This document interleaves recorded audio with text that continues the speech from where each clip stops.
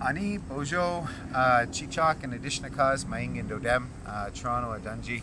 Uh, you know, my name is uh, Alan Colley, and what I just introduced is uh, my spirit name, which is Whooping Crane. Uh, and so I'm part of the Wolf Clan, and I was born and raised here in Toronto. Uh, and so I'm very grateful to, to have this moment uh, to be able to share a few stories for me that as growing up, you know, it really connected me with place, but also just how magical this world is. So this first story I'd like to share today takes us back to when our world was just new. we say that in this space, before we came here, there was a great flood. Uh, and so uh, up in that sky world, uh, way away, far away, uh, there was Sky Woman.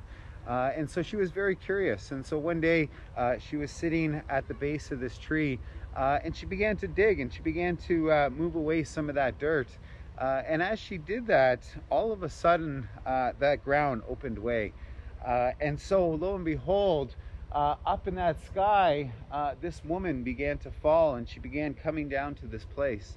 Uh, and so at that time, everything was just full of water. Uh, and so looking around, all the birds that could be seen uh, in all different directions had noticed this disturbance in the sky. Uh, and they flew up and they meted and they greeted the sky woman as she was coming, as she was tumbling to the space. Uh, and they made that net, that big, that soft ground, so that as Sky Woman came down, uh, she was on those feathers. Uh, and so she came down into a space like this that was full of water and all of a sudden appeared uh, this giant turtle. Uh, and as this turtle arose, it gave a space for her to sit down. And all around, these different beings of creation began to show up. The, the otter, the beaver, uh, and then the little muskrat were there. And so, all in amazement and awe, these beings went to this woman and began asking her all these questions Where did you come from? Why are you here? Uh, and so, very quickly, she began to share that story of the gifts that she was here to do. And so, she asked all those animals for their help. And she said that beneath the waters, that there was this earth, there was this clay. And so she asked each one of those animals to dive down and to be able to find uh, that earth and to be able to bring it back up to the surface.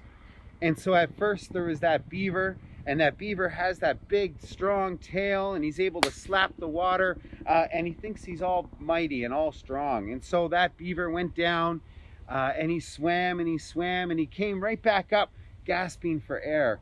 That uh, you know he had nothing. He couldn't find it.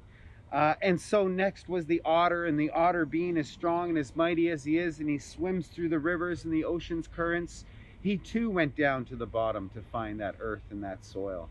And so when he came back up, he also was empty handed.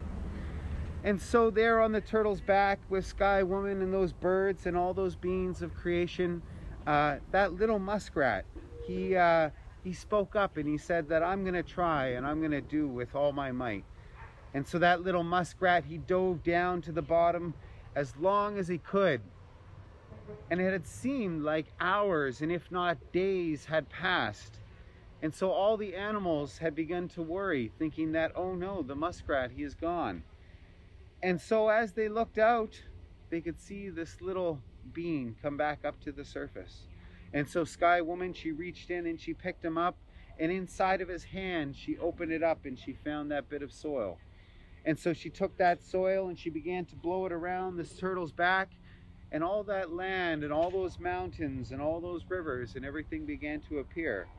And so we say that for us as people, it's really the gift that we are to be in this space.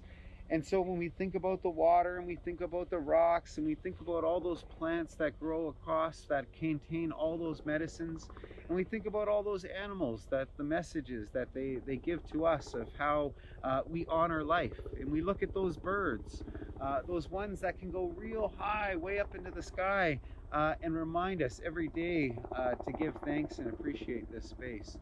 Uh, and so there's many versions of that story of Sky Woman.